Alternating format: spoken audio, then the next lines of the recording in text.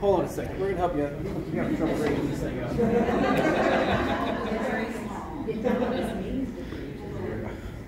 I mean, that's not exactly a bad place to be preaching from.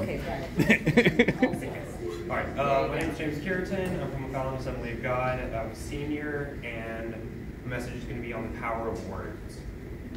So, words are unique. They're something we use every single day, every single situation. We're always using them. And we can see the power we have from our words. And it's something that's not addressed, it's, it's addressed a lot in the Bible. I mean, just a couple examples of this is in uh, Matthew 8, uh, chapter, yeah, Matthew 8, verses 23 through 26, when all the disciples are and Jesus are on a boat. This boat, they're just heading down the lake, and the storm comes in.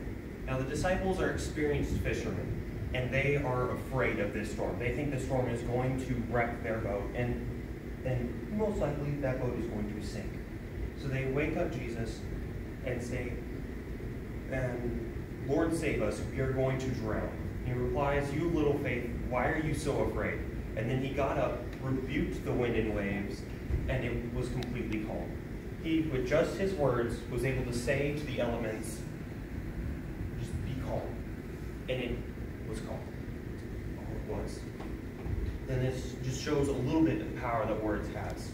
The second uh, chapter, uh, in Luke uh, chapter 7, uh, verse 7 through 8. Uh, Faith the Centurion. We've heard the story plenty of times. The centurion, his servant's sick. He needs Jesus. And instead of coming to Jesus himself, he sends other messengers telling him that Jesus not he's not worthy to have Jesus come into his house. And he tells him that just by him saying the words that his servant will be healed. Just just by words. And so Jesus Jesus states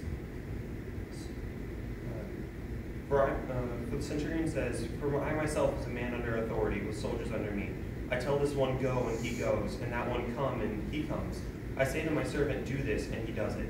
When Jesus heard this, he was amazed at him. Turning to the crowd following, following him, he said, I tell you, I have not found such great faith even in Israel. And he spoke the words, and that servant was healed. It was completely miraculous, and just no laying on hands, just words. And so our words have this power.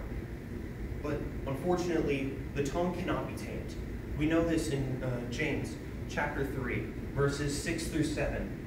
The tongue is, is also, the tongue is also is a fire, a world of evil among the parts of the body. It corrupts the whole body, the whole body. It sets the whole course of one's life on fire, and it is itself set on fire by hell.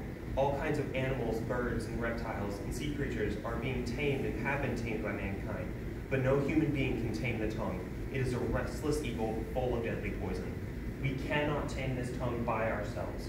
We must have Jesus in our lives so we can be able to speak life into others. Because if we don't, we will be speaking death into the ones around us, the ones we love, the ones we interact with on a daily basis, and even the ones that we don't even know. Because we don't know those around us.